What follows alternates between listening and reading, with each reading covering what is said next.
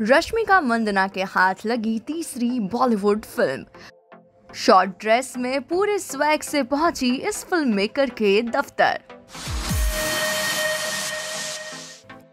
South film अदाकारा रश्मिका मंदाना इन दिनों बॉलीवुड में अपने पैर पसराने की कोशिशों में जुटी हुई है। एक्ट्रेस पहले ही दो बॉलीवुड फ़िल्मों में बिज़ी है।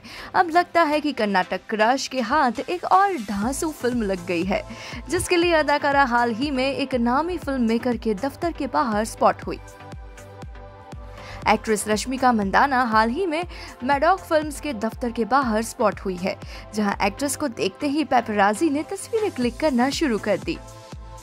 रश्मिका मंदाना हाल ही में फ़िल्म निर्माता दिनेश विजयन के दफ्तर में डॉक फिल्म्स के बाहर पहुँची थी, जहाँ एक्ट्रेस ने ये तस्वीरें क्लिक करवाई।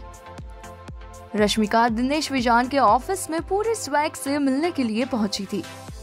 एक्ट्रेस को यहाँ देखते ही पेपराजी ने तस्वीरें क्लिक करना शुरू कर दिया, जिसके बाद रश्मिका इशारों इशारों में बात करती दिखी। रश्मिका मंदाना पेपराजी को फ़ोटोज़ के लिए मना करते हुए घड़ी दिखाकर लेट होने का इशारा कर रही थी। एंटरटेनमेंट इंडस्ट्री की सभी अपडेट्स न्यूज़ और गॉसिप्स देखने के लिए सब्सक्राइब करें हमारे यूट्यूब चैनल एंड फॉलो करें फेसबुक और इंस्टाग्राम पर।